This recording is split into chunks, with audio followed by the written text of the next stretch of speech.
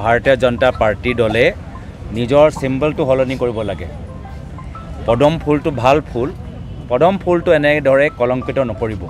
নিজৰ ব্যৱহাৰ আচৰণ আৰু কামেৰ কামৰ যোগেদি পদম ফুলটো এনেদৰে আজি অপমানিত নকৰিব। তেওঁলোকৰ আচল কাম এইটো নতুন চিম্বল যোগেদি দেখাওক সেই চিম্বলটো হ'ব লাগে বুলডজাৰ। বুলডজাৰ চলাই আজি তেওঁলোকে খুব গৌৰৱ অনুভৱ কৰিছে। আজি গোটেই তেওঁলোকৰ ন্যায় প্ৰক্ৰিয়াটোৱে বুলডজাৰ। অসমতে হওক গুজৰাটত হওক মধ্যপ্ৰদেশত হওক মহাৰাষ্ট্ৰত হওক আজি সেইকাৰণে শিলহাসৰ বিলত তেওঁলোকৰ দুখীয়া মানুহৰ ওপৰত বুলডজাৰ চলাইছে। কিন্তু আমাৰ এওঁ যে ক'লে যে আজমল চাহাবৰ বিৰোধে আমাৰ এওঁ যে বহুত কথাবোৰ কৈ থাকে আজমল চাহাবৰ বিল্ডিঙৰ ওপৰত বুলডজাৰ চলোৱা সাহস নাই। ডাঙৰ ডাঙৰ বেপাৰীসকলৰ বিল্ডিং ওপৰত আজি নিজৰ নিজৰ মন্ত্ৰীৰ কেবিনেটৰ ভিতৰত যিসকলে তাত ডাঙৰ বিল্ডিং বনাইছে সেই বিল্ডিঙৰ ওপৰত তেওঁলোকৰ বুলডজাৰ চলোৱা সাহসটো নাই। তো ইয়াৰ উত্তৰ অনাগত সময়ত ৰাইজে দিব। যোৱা দুই চাৰি পাঁচ বছৰৰ পৰা ৰাইজৰ কণ্ঠ তেওঁলোকে বন্ধ ৰাখিবলৈ যথেষ্ট সক্ষম হৈছিল। কিন্তু এতিয়া নিৰ্বাচনৰ সময়ত ৰাইজে নিজৰ কণ্ঠ নিজৰ ভোটৰ যোগেদি তেওঁলোকে প্ৰকাশ কৰিব। আৰু আমি ৰাইজক কথা দিছোঁ যে অনাগত দিনত যেতিয়া আমাৰ চৰকাৰ আহিব আমি ৰাইজৰ হৈ যি আইনৰ ক্ষেত্ৰত সলনি কৰিব লাগে আমি সেইখিনি কৰিম। আৰু এইখন চৰকাৰকো বিজেপিক আমি ক'বলৈ বিচাৰিছোঁ যে ৰাজনীতি এটা চক্ৰ সদায় পুলিচ আৰু চি আই ডি তেওঁলোকৰ হৈ নাথাকে। যেতিয়া আমাৰ চৰকাৰ আহিব পুলিচ চি আই ডি আমি তেতিয়া ব্যৱহাৰ কৰিম।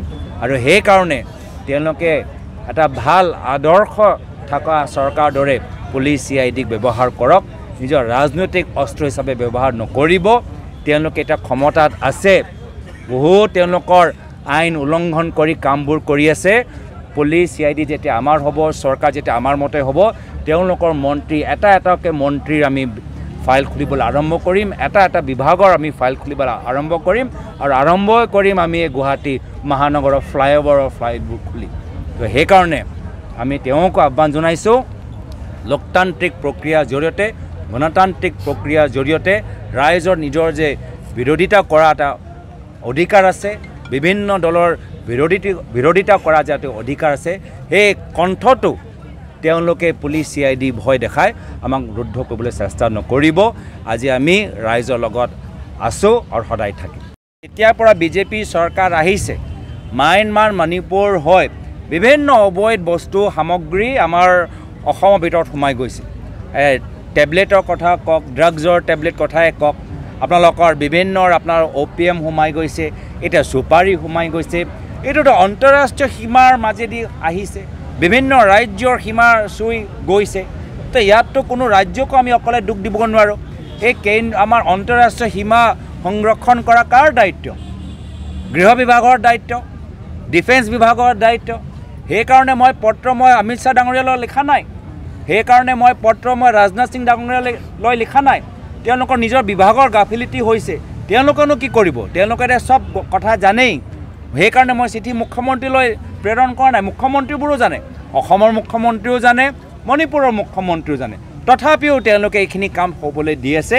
সেইকাৰণে না খাওঁগা না খানে দোংগা প্ৰধানমন্ত্ৰীকে মই অৱগত কৰাই প্ৰধানমন্ত্ৰী কাৰ্যালয়কো মই টেগ কৰিছোঁ। যে চাওক আপোনালোকৰ ডাবল ইঞ্জিন চাৰিওফালে আছে। মণিপুৰতো আপোনালোকৰ চৰকাৰ অসমতো আপোনালোকৰ চৰকাৰ সীমাও নিৰ্ধাৰিত কৰে আপোনালোকৰ কেন্দ্ৰৰ বাহিনীয়ে। তথাপিও বাহিৰৰ পৰা চুপাৰী ড্ৰাগছ এই যে যোৱা যেতিয়াৰ পৰা মণিপুৰত সংঘাত হৈছে তেতিয়াৰ পৰা এইখিনি স্মাগলিং আৰু বাঢ়ি গৈছে। তো নিশ্চয় এই ক্ষেত্ৰত কাৰোবাৰ ৰাজনৈতিক কোনোবাই ৰাজনৈতিকভাৱে সুৰক্ষা দি আছে। গোটেই ইণ্টেলিজেঞ্চটো পায়ে থাকে।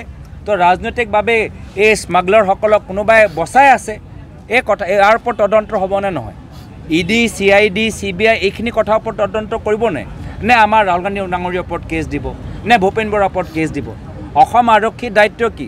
এই স্মাগলাৰসকলক ভাঙা নে কংগ্ৰেছ দলটো ভাঙা? তো সেইকাৰণে মই প্ৰধানমন্ত্ৰীক এইখিনি কথা অৱগত কৰাইছোঁ।